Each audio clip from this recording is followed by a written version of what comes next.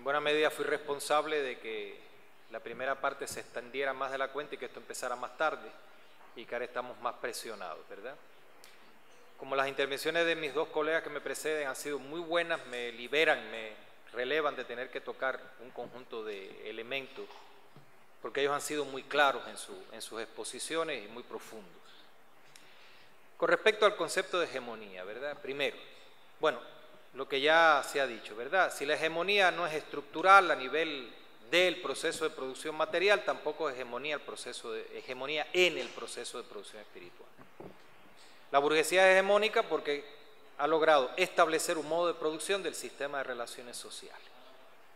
Utilizando una expresión que también utiliza Bourdieu, aunque no en el mismo exactamente igual que Bourdieu la utilizaría yo, la burguesía crea un campo intelectual, un campo dentro del cual está lo representable, lo comprensible, lo legítimo, y fuera del cual está lo ilegítimo, lo no representable, lo no aceptable. Y como han dicho varios autores ya, no sé bien quién tiene la paternidad de esta expresión, todos la hemos explicado, hoy en día es más fácil imaginar el fin del mundo que imaginar el fin del capitalismo. Si en los años 60 estábamos llenos de utopías, ahora lo que tenemos son distopías. Cada vez que pones la televisión y te ponen una película de Hollywood, es un futuro Los Ángeles 2048, una cosa terrible, más capitalismo todavía. Pero a nadie se le ocurre decir, a lo mejor en Los Ángeles en el 2138 habrá algo que no sea capitalismo, que sea socialismo, lo que va a haber es el fin del mundo, en fin. Hegemonía entonces es un concepto que tiene que ver con una complejidad que tiene que ver con la, como decía acertadamente Néstor, con la capacidad que tiene una clase social de utilizar la dominación y el convencimiento, justamente ¿por qué? Porque tiene la capacidad, la mantiene cuando la pierde, pierde la hegemonía, de metabolizar, subvertir, refuncionalizar todo eso que tiene un sentido eh, subversivo que proviene, constantemente está proviniendo de las clases subordinadas, de las clases explotadas. Por eso es que, y esto sí quiero decirlo, nunca me ha gustado hablar de hegemonía de un grupo social o hegemonía de un partido político. Porque pienso que la hegemonía hay que pensarla en términos de clase social. Entonces voy a poner un ejemplo de Ecuador, ¿no? En el 2012, 2013, 2014, 2015 se escribieron libros, artículos, tesis hablando de la hegemonía del correísmo.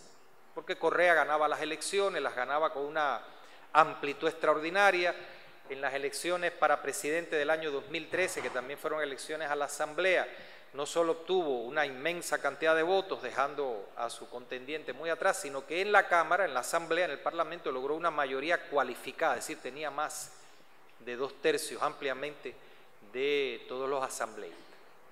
Interesante, porque un año después, en el 2014, se hacen las elecciones municipales para alcalde y es derrotado toda la línea. Y en el año 2017, como todos sabemos, su candidato, el que él creyó que era su candidato, el candidato de Alianza País, obtiene la victoria, por, no llegó a 2%, y comenzó un proceso de descorreización el cual hoy, en el sentido común, que es un concepto granchano muy importante también, todo lo que tenga que ver con el correísmo es lo peor que le ha pasado y eso es una idea que tiene la mayoría de la población ecuatoriana que justifica cualquier cosa que esté haciendo el gobierno actual con el argumento de que es preciso hacer eso para descorreizar el país. Llegándose al extremo de que, por ejemplo, se, eh, se despide, ¿no? se cesantea a todo el Consejo Legislativo, por ejemplo, que es el, el Consejo Judicial, los que supuestamente controlan la función judicial, a todos, y el argumento es, bueno, los destituimos porque todos tienen relaciones y nexos con Correa. Imagínense que en Estados Unidos Trump toma el poder y destituye a todo el Tribunal Constitucional porque todos ellos conocieron o fueron amigos o fueron partidarios de Barack Obama. Eso no tiene juridicidad ninguna, ni legalidad ninguna, pero para el pueblo, para una buena parte, yo diría que la mayoría, ¿no? de los ecuatorianos es totalmente válido porque ser correísta es la cosa peor que puede existir. Entonces todo lo que sea correísmo hay que quitar. tú dices, bueno, realmente había una hegemonía del correísmo cuando en menos de dos años has logrado hacer ese giro tan inmenso de 180 grados. Yo lo que pienso que nunca en este proceso en Ecuador, mañana hablaremos de los socialismos del siglo XXI, pienso dar mi opinión también al respecto, realmente muchos de estos procesos no rompieron, porque ni siquiera se plantearon romper la hegemonía de la burguesía. Y muchos elementos del discurso y muchos elementos del imaginario y muchos elementos de las políticas se mantenían dentro del sentido común y dentro de la lógica y dentro de lo aceptable por un modo de producción capitalista. Y vuelvo a mencionar algo que dije más temprano en la mañana, bueno, por la mañana, porque ya no estamos en la mañana, de que, por ejemplo, la figura del emprendedor quedó ahí como la gran maravilla del siglo y ahora hay que buscar, ¿no? el, emprendedor, que el pueblo sea emprendedor, que los emprendedores no sean solo la burguesía, construir todo eso. Pero, por ejemplo, no se hizo, ah, hablar mucho de movimientos sociales, hablar mucho de sociedad civil, pero no hablar de sindicatos. a nadie se le ocurrió, a nadie, porque no se le ocurrió ni a los líderes sindicales o a la mayoría de los líderes sindicales en Ecuador hablar de la necesidad de fortalecer los sindicatos y de que el sector de trabajadores asalariados en Ecuador, que están sindicalizados, que anda por un 6%, y probablemente el dato sea más generoso, creciera y aumentara, y que e, eso como que los sindicatos, nadie sabe bien qué cosa es, estamos hablando de movimientos sociales, estamos hablando de sociedad civil, los sindicatos, ah, no sé, ¿qué es eso? ¿Qué será? La fortaleza de la sociedad civil de un país tiene que ver con la fortaleza de los sindicatos o no tiene que ver, y evidentemente en el sentido común, incluso a nivel académico, sobre todo a nivel académico y a nivel de la persona corriente y moliente, eso no tiene nada que ver. Entonces, hegemonía hay que hablarla en términos de clase y hay que hablarla en términos de la posibilidad, la capacidad que tiene una clase de estructurar de tal forma las relaciones sociales que puede reconducir, refuncionalizar todos esos impulsos subversivos que provienen justamente de los sectores dominantes, dominados, perdón, porque también es la capacidad que tiene la clase, esa clase dominante, de construir a las otras clases sociales. Es decir, el capitalismo no es algo que está ahí donde hay grupos primigenios, originales, que proceden, nadie sabe de dónde, aparece la burguesía, la burguesía llega de buenas a primeras y entonces hay personas ahí que existen antes de la burguesía y la burguesía los empieza a dominar. La burguesía construye una sociedad, construye un sistema de relaciones sociales y construye a la clase obrera. La clase obrera no es esa, ni la clase obrera, porque además, ahora viene el otro, ¿no? Los indígenas, ¿quién habla de los indígenas? Entonces piensa los indígenas como eran en el siglo XVI, y ni siquiera los indígenas del siglo XVI eran esa cosa maravillosa y pura que nos representamos. La conquista de América la hicieron los indígenas, la conquista de América para los españoles, me perdonan si soy muy heterodoxo, porque solamente creyendo que los españoles son superhombres, una mezcla del Capitán América con Marvel y todo esto, se puede entender que Pizarro con 160 españoles y 20 caballos logrará dominar todo ese territorio, bueno, el imperio inca y todo aquello. O Hernán Cortés dominar México, si no es porque en un momento dado las élites explotadoras indígenas entendieron que lo mejor que podían hacer era aliarse con el nuevo grupo social que venía y establecer un sistema de dominación bien complejo. Desde ese, ya desde antes de la llegada de los europeos a América Latina, el mundo indígena es un mundo bien complejo también. Hay sectores donde no hay todavía una sociedad dividida en clases, vamos a hablar de los mapuches, no por gusto los mapuches han resistido 300, 400 años, porque la única forma con los mapuches era exterminarlo, o como se hizo en Argentina en la época de Mitre, Sarmiento, grupos indígenas donde no había esa, división de clases, la conquista de la Pampa es terminarlo, porque no había una clase social explotadora indígena nativa que estuviera dispuesta a aliarse con el conquistador, mientras que estos grandes imperios cayeron aparentemente de una forma tan fácil. ¿no? Por, los indígenas tampoco son. Es decir, esto no se puede ver como grupos totalmente malos y otros grupos que nadie sabe bien de dónde han salido, que son eh, esencialmente, en un esencialismo extraordinario, buenos por sí, per se. Tampoco los hay malos, ¿no? E, esto es mucho. Y Marx dijo, yo no hablo de los capitalistas, yo no hablo de los burgueses como personas, yo hablo de los burgueses en tanto ocupan un lugar dentro de una estructura social. Y entonces caeríamos en el concepto de sujeto. El concepto de sujeto tiene una historia. Está claro que en una primera instancia, sujeto es el que está sujetado, es el que está sometido. Entonces, en gramática, la oración tiene sujeto, tiene predicado, bueno. ¿Quién es el sujeto ese? Eso puede querer significar una relación de extrañamiento. Ayer vino a verte un sujeto, quiere decir que no me identifico para nada con esa persona, me pareció sospechosa. Eh, fue sujetado, entonces está, está sujeto a los dictados del otro, quiere decir que no tiene ninguna capacidad de acción. Pero la filosofía moderna crea el concepto de sujeto entonces me tendría que remontar a una historia un poco compleja que voy a intentar simplificar, para hablar de aquellas, no de personas necesariamente, sino para hablar de fuerzas agenciales que se autoproducen en la medida en que producen objetos. Eso es lo primero que quiere decir sujeto. En tanto, fuerzas agenciales no son eh, fenómenos suprapersonales, porque suprapersonal es Dios y Dios no es sujeto, Dios es Dios. Y usted ni lo puede entender, Él hace lo que le da la gana, construyó el mundo en siete días y nadie sabe si lo podía haber hecho en cuatro, en tres, en dos o cuando le dio la gana de hacerlo. Cuando lo hizo, cuando le dio la gana. No es un sujeto, es Dios. Es una instancia suprapersonal. Sujeto es una instancia transpersonal, que lo que quiere decir es que los seres humanos lo producen en la medida en que Él produce a los seres humanos.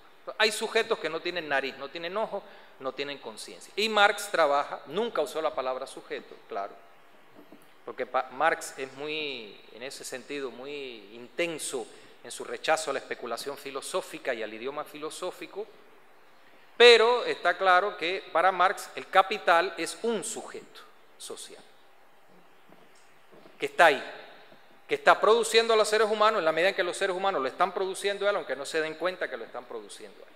Entonces, necesariamente, todo sujeto social no es un grupo de seres humanos, puede serlo o no. Hace años aprendí algo aparentemente muy simple. El sujeto de la actividad se define por la actividad. Entonces, mover, coger este vaso ahora y tirárselo por la cabeza a mi amigo Néstor Coan como agradecimiento por todas las cosas maravillosas que ha dicho a mí, todos los piropos, para refrescarlo porque hay mucho calor, el sujeto de esa acción sería yo.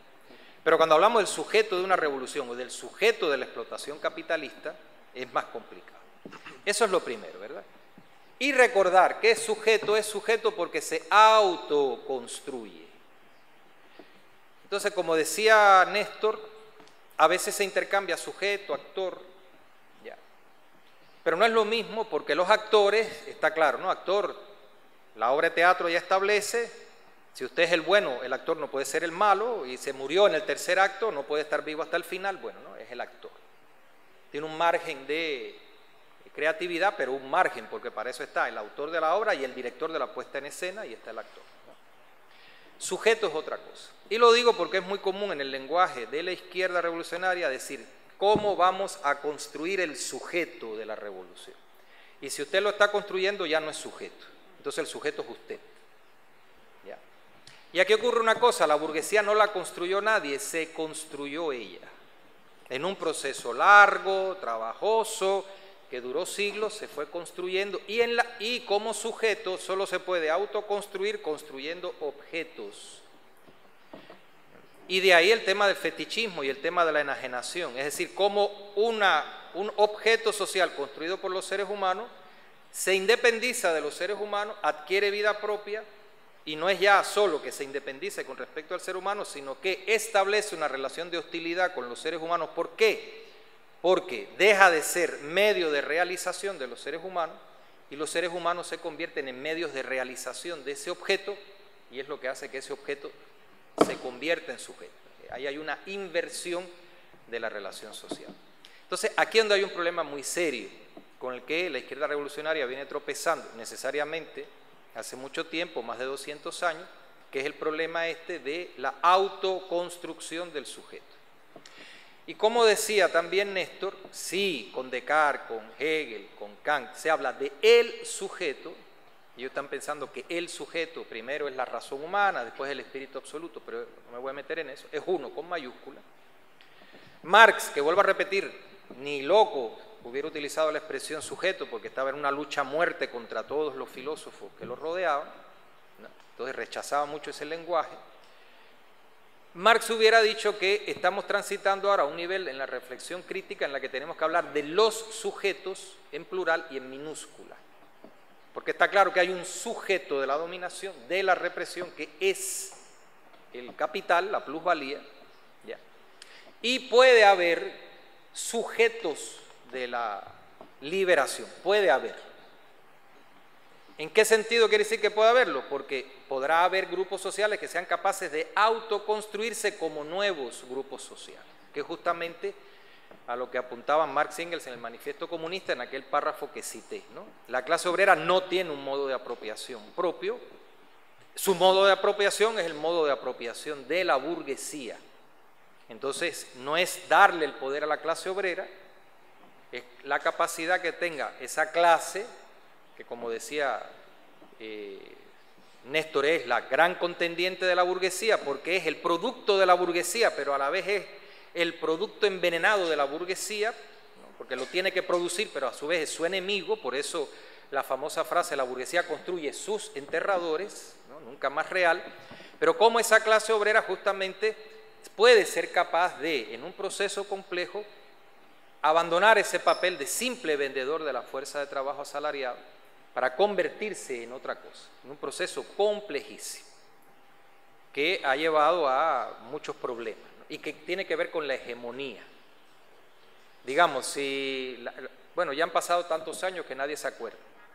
Cuando la Unión Soviética desapareció, mucha gente se quedó sorprendida, ¿no? entre ellos yo, porque parecía que haya habido una hegemonía política, cultural, económica, y lo interesante fue ver cómo la, dirección del Partido Comunista de Hungría, de Checoslovaquia, de la Unión Soviética, se criticaban ellos mismos, hemos sido comunistas toda la vida, qué cosa terrible, ahora mismo dejamos de ser comunistas y se trastocaron y la gente empezó a consumir hamburguesa, empezó a consumir Coca-Cola, con una era el sueño de su vida, la República Democrática Alemana, lo cual indica que evidentemente hacía rato que habían perdido la hegemonía cultural.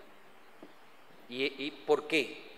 Por muchas cuestiones que no son solo de la lógica del discurso, sino de cómo se construye, cómo se establece la relación entre ese grupo que tiene percepción clara de la transformación revolucionaria, de la necesidad de la revolución, y esa masa oprimida, explotada, subalterna, que ha sido construida, eh, eh, edificada para que piense en términos de eh, aquellos que lo dominan. Entonces ese sería un problema muy serio al que hay que analizar y justamente teniendo en cuenta la necesidad de manejar bien estos conceptos, porque si no, como decía Néstor, parece que estamos hablando de lo mismo y no, y en vez de ser instrumentos de comunicación, se convierten en instrumentos de incomunicación. Entonces ya termino. Muchas gracias al profesor.